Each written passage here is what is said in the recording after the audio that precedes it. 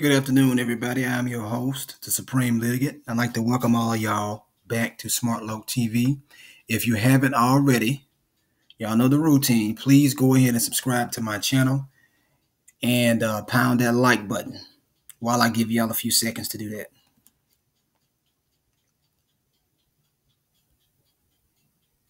All right, so let's get back to the topic of this video. This will be part two of It's All About the Facts because it's all about the facts. And I'm going to keep telling y'all that because that's how I won my case. I know how to apply the law to the facts of the case. And I know that if it's relevant, I talk about it. If it's not relevant, I don't talk about it. so um the, the facts of the case, y'all, they will always determine if the officer acted reasonably or unreasonably. In other words, if the officer acted lawfully or unlawfully, they're going to always determine that. The facts of the case will always determine if you have um, alleged a valid cause of action against the police officer. They're going to always determine that. Always, always, always, always.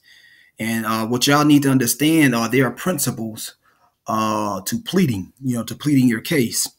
And uh, one principle um, is you don't need to say any, don't say any more than what is necessary to prove your point. And whatever you state, you need to state it in a, you need to state it in a factual manner. And then you can make conclusions because if you don't do that, they're going to say that it's conclusory if you don't have facts to support your uh, your your legal conclusions. Okay, here's one right here: an affidavit. An affidavit supporting the issuance of uh, of an arrest warrant must contain more than merely conclusory statements by the officer. This is a Texas case. You can go and read that if you want to. I'm gonna stop where it says facts. But anyway, it must contain sufficient facts supporting the officer's personal knowledge or belief of the alleged facts facts. The facts are your the facts are the ingredients, the elements.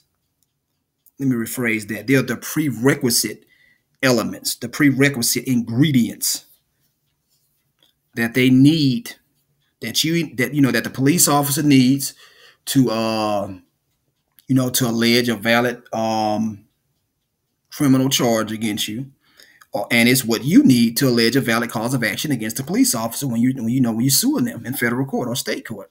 It's the same thing, y'all. The same exact thing. So when you um if you don't do that, they are going to file a motion to dismiss for failure to state a claim for which relief can be granted. They're going to file a Rule 12b6. If you sue that police officer and you just allege conclusions without facts in support of those conclusions, that is what they're going to do. That is what you need to do when they do this shit in criminal, you know, in, in whether it be circuit court, district court, or municipal court. When these police officers procreate these so-called criminal charges against you, and they don't have facts in support of those the conclusions, you know, to haul you off in court, then you simply file a motion to dismiss and you say this complaint is legally insufficient as a matter of law because it is devoid of the prerequisite elements of the offense. It's vague, it's conclusory, and it doesn't afford me due process because there are no facts to support these legal conclusions of the police officer. If they allowed this type of stuff to happen, people will be there will be tons of people in jail for stuff that they don't even know why. You know, for reasons they don't they don't even know why they're in jail because the police officer never told them. It's not in it's not in the um the complaint you know, the criminal complaint and it's not in the warrant of arrest, you know what I'm saying? There will be thousands of people. You you will be going to jail for stuff you didn't even do and you don't know why. There will be millions of people just locked up for no reason. And they don't well, they don't know why, is what I'm trying to say. And you can't do that. That's a violation of due process. On the civil side and the criminal side, you have to allege the facts that you are basing your reason for hauling these police officers into court, and for and they have to do the same thing to you. Here's one in Alabama. Uh, let's see. There it is.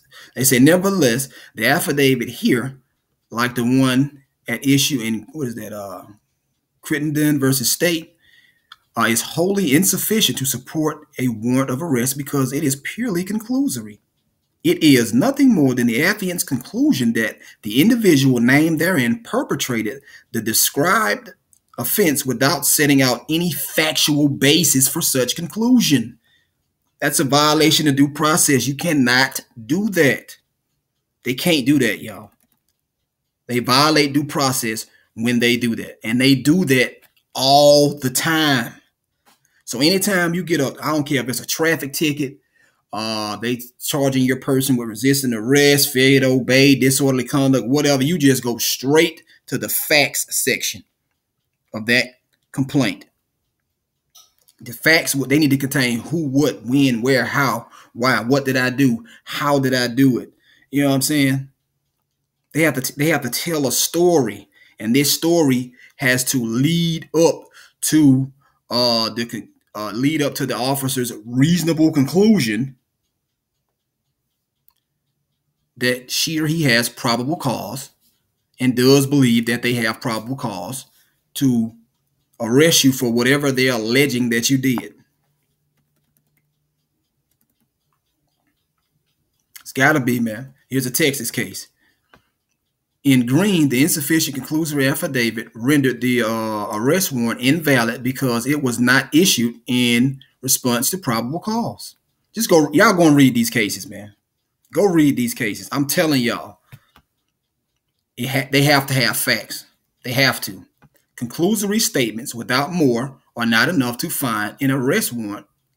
Hold on, let me see. Are not enough to find an arrest warrant lacked probable cause. They need facts. They need facts, y'all. They need the ingredients, the prerequisite elements of the offense. And you need the prerequisite elements or the ingredients or the facts of the cause of action for which you are suing them. I'm to keep saying that until y'all get it. Here's one right here. We have stated that a bare that a bare bones affidavit is insufficient to establish probable cause. And this is the case right here, if you wanted to go and read that. That's the case. The affidavits must supply the magistrate with sufficient information to determine that probable cause exists. You got to do that. It's got to do that. Here's another one. This is a federal case right here. Wholly conclusory statements are insufficient to establish probable cause. Let me show y'all what they mean by bare bones bare bone indictments refers to an indictment that cites only the language of the statute allegedly violated. Didn't I tell y'all, didn't I show y'all that in the other video? And it's all about the facts. The first one that I did yesterday, when I told y'all that they will they go to the statute and they copy and paste it into the uh the factual section of the complaint. That's what they do. Because they idiots. They don't know what they're doing. And they are not qualified to be law enforcement officers because they don't know law. About nine out of 10 of them don't know law. They don't know what the hell they are doing. These are these ain't nothing but but the king's henchmen. That's that's all it is. Just the king's henchmen.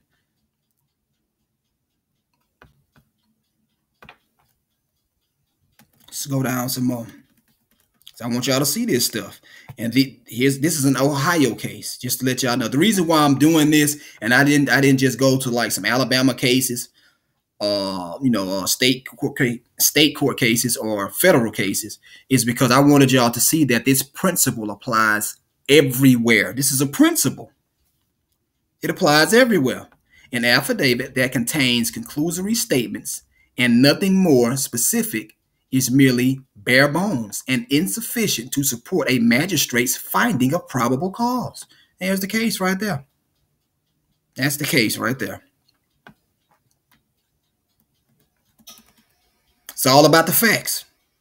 It's all about the facts. A bare bone affidavit is insufficient to establish probable cause. There it is again.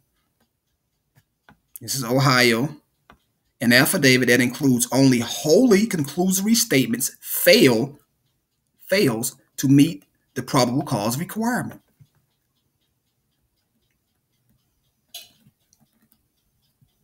You got to have facts, y'all. It must be factual. Here's another one. A bare bones affidavit is insufficient to establish probable cause. A bare bones affidavit contains wholly conclusory statements which lacks the which lack the facts and circumstances from which a magistrate can independently determine probable cause. Give me one second, y'all. I'll be right back. All right. Sorry about that, y'all. Let's see. Let's go back down some more. Um, what is this? This looks like uh looks like Minnesota. Yeah, this is uh United States federal uh, United States District Court case in uh, Minnesota, 2015. I'm gonna read this. I'm I'm not gonna read the whole cases to y'all. I'm just gonna read y'all the case citations. Y'all can go and read these cases for yourself. A supporting affidavit that consists of bare bone conclusions or conclusory allegations cannot support a finding of probable cause. Whether probable cause exists depends upon the totality of the circumstances. Blah blah blah. Let's go down some more. This is in Arkansas. Bare bone mm, was that no. Bare conclusory statements are insufficient to support a finding of probable cause. There's the case right there.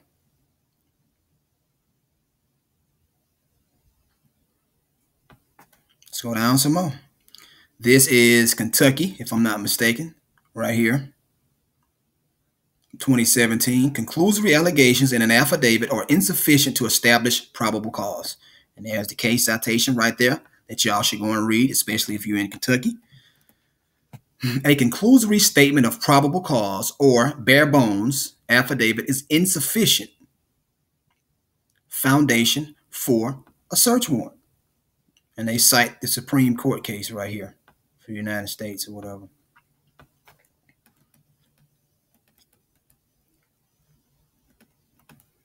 It, these are principles, y'all. These are principles of law and they apply everywhere.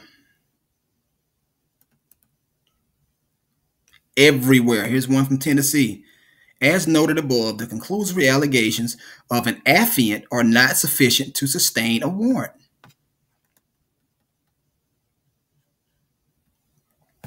What is this? Tennessee? Yeah. Same thing that I just read. This is uh, Pennsylvania. This is a United States District Court case from 2021. Uh, it's a federal court case. A warrant based on an affidavit with wholly conclusory statements that lack a basis for finding probable cause would not survive. Y'all see this, man? It's always about the facts. Go read cases to show y'all what I'm talking about. It is always about the facts of the case. It's always. I don't care if they say if it's a criminal case or a civil case. It is always about the facts of the case. And who better to argue the facts of your case, whether it be a criminal case or a civil case, than you? Just think. Learn how to apply the law to the facts of your case and start going in that courtroom and showing these people that they can't just run over you and do whatever, do whatever the hell that they want to do because that's what they think they can do. They think they can just do whatever the hell they want to do whenever the hell they want to do it. And they can't because they are public servants and you are sovereign. Anyway, that will be the end of this video. Hopefully this helped y'all understand, you know, understand. I, I kind of wanted to go over some cases, but they, they, they were going to be extremely long cases. And I didn't want to confuse anybody, so I just try to keep it simple. But go and read these cases because that is the law.